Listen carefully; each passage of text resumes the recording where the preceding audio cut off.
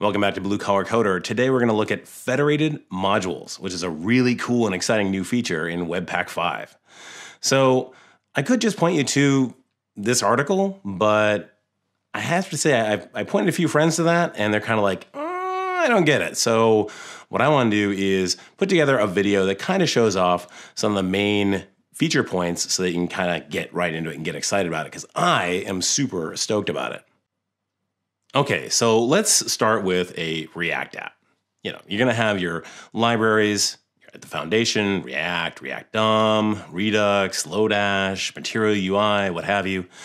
On top of that, you're to have your store. And then on top of that, you're to have a bunch of your front end React components. And this is just a visual representation of it. So let's make two of these things. Okay, so we'll call the first one the home page and the second one the search page. Now, let's say you get a request. You got a really cool product carousel on the homepage, and you want to see it on the search page as well. But they're two different projects. So, what are you going to do?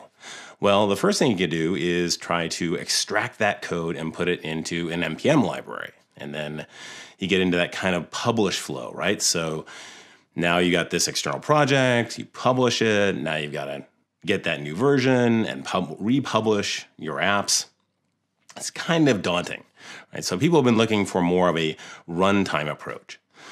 Okay, so let's promote that now, maybe up to uh, an edge side include. In this case, you go and extract the code, then create a bundle of HTML, JS, and CSS, and put that up on S3 somewhere. And then you'd use edge side includes to bring it in right before it goes out to the customer that works, but it doesn't really play all that well with React. React likes to control the DOM from where it sits all the way down, so it's not going to be super excited if you go and inject some arbitrary HTML into the middle of it. Okay, so what's another option? Well, another option is to do a microFE thing.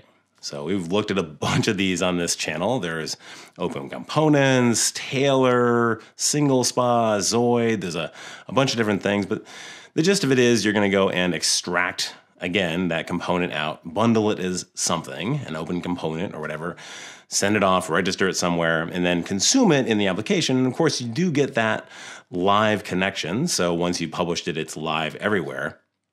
But it's still its own externalized thing. Hmm. Now there is federated modules as part of Webpack 5. What you can do is you, now you can just leave it in place. That product carousel stays in home, but then it's externalized. And search can then include it almost seamlessly, as we'll see in just a second. And it also brings along any dependencies, any libraries it needs to go along with it for the ride. It's really cool. So let's go check it out in the code. So here's this project that I just cribbed off to make this video. This is my version. I've changed a few names, scaled down a little bit. This isn't the way I normally go. I like to build projects up from scratch, but this will keep it a little shorter and all the code is linked in the description. So I'm going to start up this project now that it's loaded into VS Code. And in the meantime, we'll have a look around. Okay, so in the packages directory, we have three apps Home is the home page, search is the search page, and nav provides a shared header. Now let's have a look in home and look at the Webpack. So this is just a normal Webpack config with the exception that we're bringing in this module federation plugin. And then we define that down in the plugins. And we can see here our name is home. And I guess the name of the library, not sure why they specifically called that out. Uh, then there's the name for the remote entry file. This is the file that has the meta description of all the stuff that the app exports, which is defined here below. Then we have any remotes that we want to import from, and we want the header from the nav project, so we'll bring in the nav. Then we have to expose what we want from this project, home. And then finally, there are the libraries that we want to vend out. Okay, so let's have a look at how Home is bringing in that header from nav. It's just a simple import, and then we use it, just like that. How cool is that? But where does the Home app know where to get that nav code? Well, that happens over in index.html in the head where we import the remote entry JavaScript for the nav project.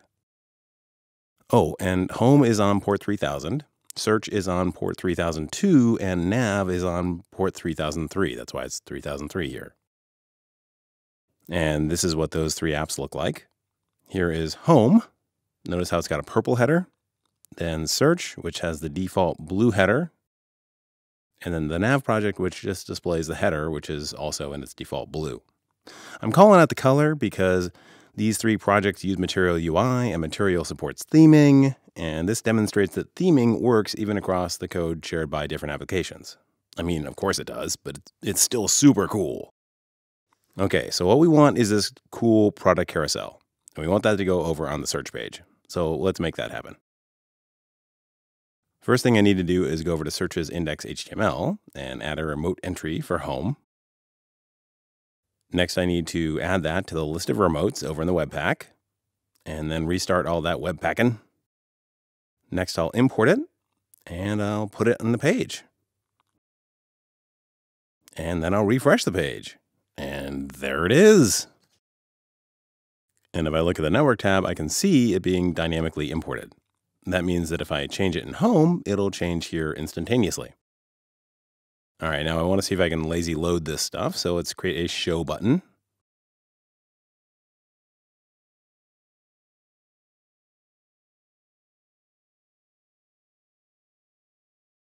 And then we'll create the lazy version of the carousel.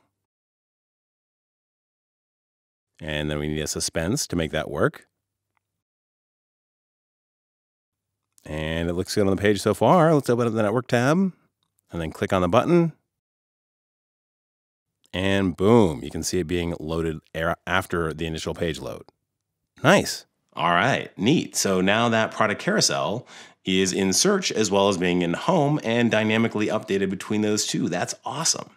But can we do more? Can we go and perhaps do something other than share React objects? Well, let's try that out. Let's kick this off. The home page already has a list of fruit in it and the product card component, so we just need to expose those. We've made the changes to the Webpack config, so let's restart just to be safe. And then over in search, I'm going to import the fruit data array and the product card. Next, I'll make a little search field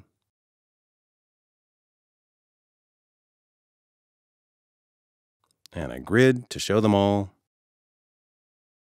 So while I'm typing this out, the point here is to demonstrate that you don't just have to export React components, it can be any JavaScript. Data like this, or classes, or plain functions, or components from a different UI framework, whatever. Okay, so the first pass will just show the names of all the fruit. Looks like we have them all, so let's filter, as you would on a search page. Am I right? So that all looks good. And now let's use that product card. Oh, that looks great. And all of that is from home, which is super cool. That means if home changes, this is going to change too. All right, so hopefully you're seeing how amazing and extensible this mechanism is. And I think it actually changes the architecture of how we think about what a web application does, right? We normally think of a web application as just serving the customer, serving up that HTML or that JS or whatever to the customer and renders and so on and so forth. Now we have an entirely separate surface, which is an exposure of the internals to other applications. And you can think about this in all kinds of cool context. You know, imagine an admin app that goes and consumes mod, uh, React components from the front end app that's going to go and render the content that it's altering, right? So now you're getting live previews because uh, that are pixel perfect because the admin app is actually reusing the code from the front end app. You think about sharing analytics rules and libraries. You can think about sharing globalization strings.